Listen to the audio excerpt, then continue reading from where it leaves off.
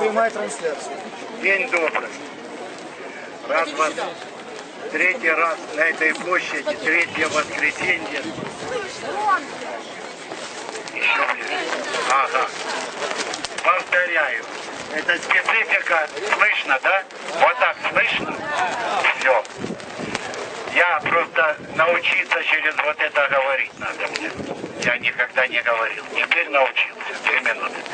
Значит, я, во-первых, вам очень благодарен за то, что даете мне возможность быть среди вас третье воскресенье уже в Харькове, на площади Свободы.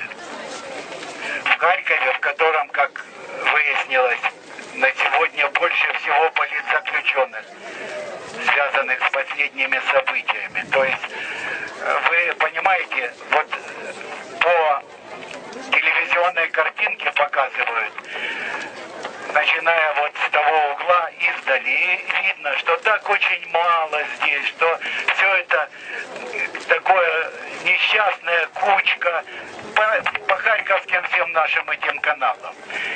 И удивляется, а чего я в этот момент вдруг появился на площади. В общем-то, если я не проявлял вперед не антимайдан, ну, о Майдане и говорить нечего, но на антимайдане не проявлялся. Вот мне показалось, что в момент, когда много всяких разочарований и страхов, самое время появиться с моими книгами, которые привносят объяснение к тому, что сегодня происходит на самом деле в Харькове, на площади Свободы.